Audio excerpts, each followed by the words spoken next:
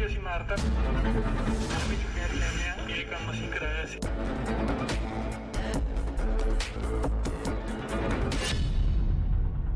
मूसेवाला हत्याकांड का सबसे बड़ा सबूत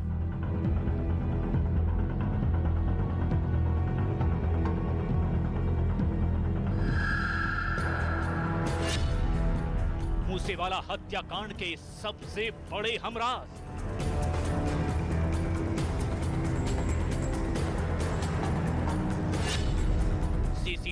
वारदात वाले हैवान।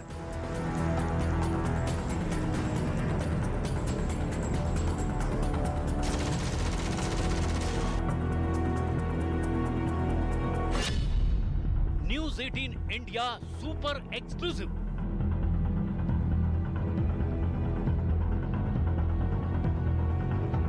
Moosewala हत्याकांड से जुड़ा ये सबसे नया सबूत है।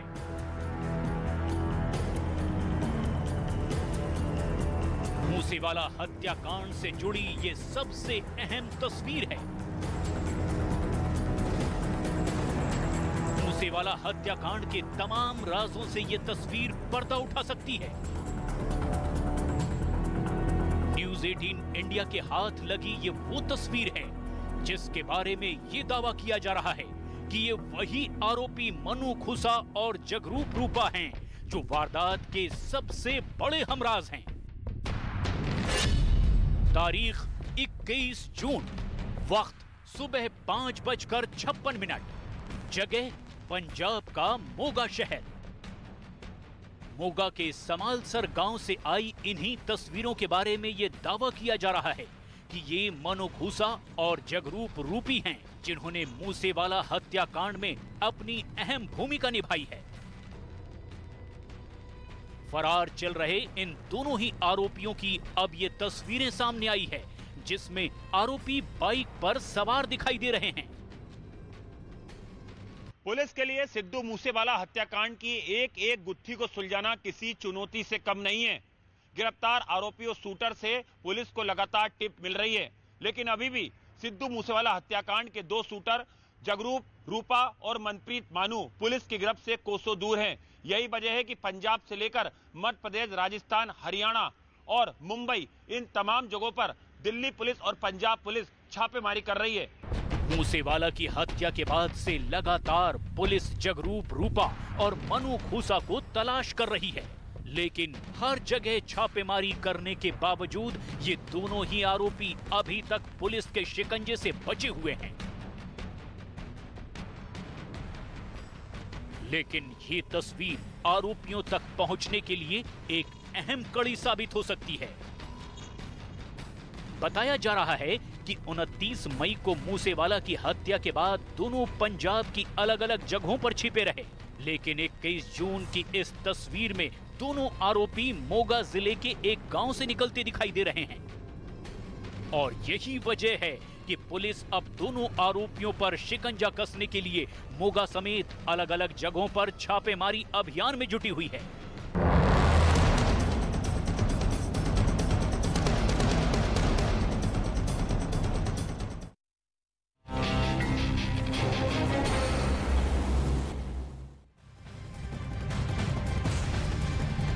जम्मू कश्मीर उत्तराखंड मध्य प्रदेश छत्तीसगढ़ और असम समेत कई राज्यों में भारी बारिश लोगों के लिए मुसीबत लेकर आई है। इन राज्यों के कई ज़िले ऐसे हैं जहाँ भारी बारिश और बाढ़ के बाद संपर्क टूट चुका है, जबकि कई गाँव टापू में तब्दील हो गए हैं। हालात ये हैं कि लोगों के सामने न सिर्फ़ अपनी जान बचाने की, बल्कि खाने पीने के सामान के लिए भी काफ़ी दिक्कतों का सामना करना पड़ रहा है।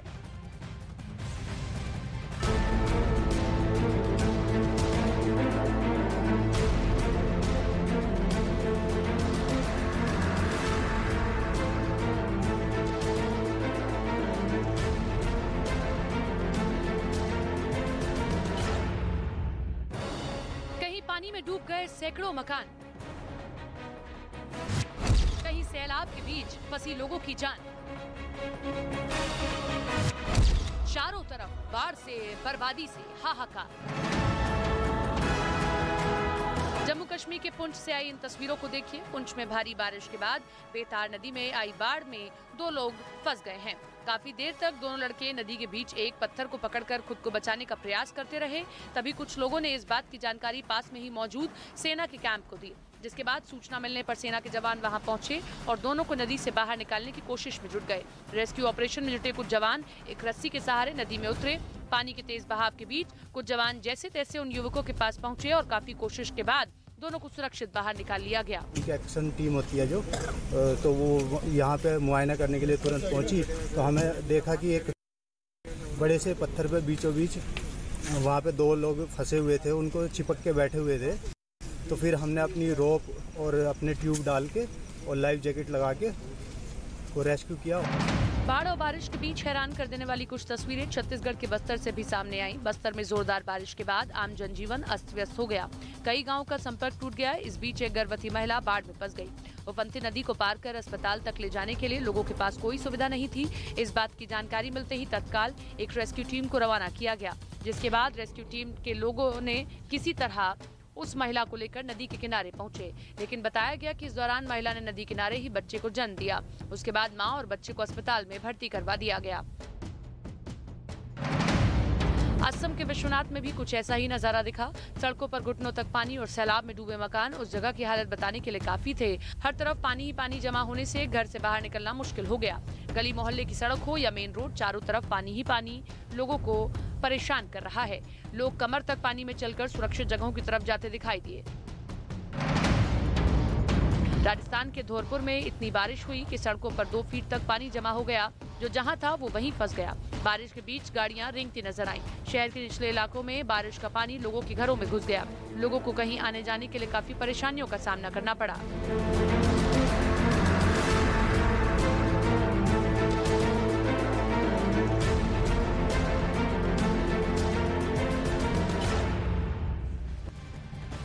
बाढ़, बारिश की वजह से नदियाँ और नाले उफान पर हैं। बाढ़ प्रभावित राज्य लोगों को पहाड़ों और नदियों से दूर रहने की हिदायत लगातार वहाँ से मिल रही है, लेकिन इसके बावजूद कुछ लोग ऐसे भी हैं जो अपनी जान जोखिम में डालकर इन्हें पार करने की कोशिश करते दिखाई दिए हैं।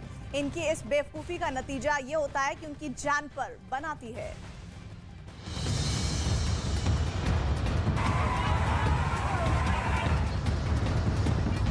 इस उफनते सैलाब को पार करने की जो कोशिश की गई, उसके अंजाम की ये तस्वीरें। बैलगाड़ी पलट गई और लहरों के बीच फंस गए। ये दो बैल जो बैलगाड़ी से बंधे थे। सैलाब का ज़ोर ऐसा था कि ना तो बैलगाड़ी निकल पा रही थी और ना ही इससे बंधे ये दो बैल। सैलाब से जोखिम लेने की ये तस्वीरें महाराष्ट्र के चंद्रपुर की हैं। बताया जा रहा है कि सामने लहरों का उफान देखने के बावजूद बैलगाड़ी का चालक रुकने की बजाय इस बरसाती नाले को पार करने का जोखिम उठाता दिखाई दिया, जिसका नतीजा आपके सामने है। लहरों में पहले तो बैलगाड़ी का संतुलन बिगड़ा और फिर पूरी की पूरी बैलगाड़ी लहरों में पलट गई। बैलगाड़ी चालक की मदद के लिए कई लोग आए, लेकिन लहरों का ज़ोर ऐसा था कि लोगों की कोशिशें काफ़ी देर तक नाकाम साबित हुई। आखिरकार लहरों के ज़ोर से ही बैलगाड़ी में बंधे बैल संभले और फिर बैलगाड़ी सीधी होती ही बैल ही इसे खींचकर बाहर ले आए। जल्दबाजी के चक्कर में लोगों के सैलाब को पार करने की तस्वीरें अक्सर सामने आती रहती हैं। पुलिस और प्रशासन बरसाती नाले और सैलाब से दूर रहने के लिए अक्सर हिदायत भी जारी करते हैं, लेकिन लोगों को भला कौन समझाए? अब कोल्हापुर से आई इन तस्वीरों को ही देख लीजिए। यहाँ प्रशासन की मनाही के बावजूद लोग पहाड़ों पर चढ़ गए। बरसात में पहाड़ों से लैंडस्लाइड के खतरे के बीच प्रशासन यहाँ नो एंट्री का आदेश जारी कर चुका है। लेकिन लोग जब पहाड़ों पर जाने से नहीं रुके तो पुलिस को सख्ती बरतनी पड़ी और फिर ऐसे लोगों पर पुलिस का डंडा भी चला। लापरवाही की ऐसी एक तस्वीर मध्य प्रदेश के बैतूल ज़िले से भी सामने आई। यहाँ फनते बरसाती नाले के तेज बहाव में लोग जान की परवाह किए बिना निकलने की कोशिश कर रहे हैं। इसी बीच नाला पार करते समय एक युवक सैलाब के बहाव में बह गया। जैसे युवक का संतुलन बिगड़ा और वो बहने लगा तो आसपास चीख पुकार मच गई और लोगों ने युवक को बचाने की कवायद शुरू कर दी। काफ़ी देर की ज़ोर आजमाइश के बाद आसपास मौजूद युवक को मौत के मुँह से बचा लिया गया।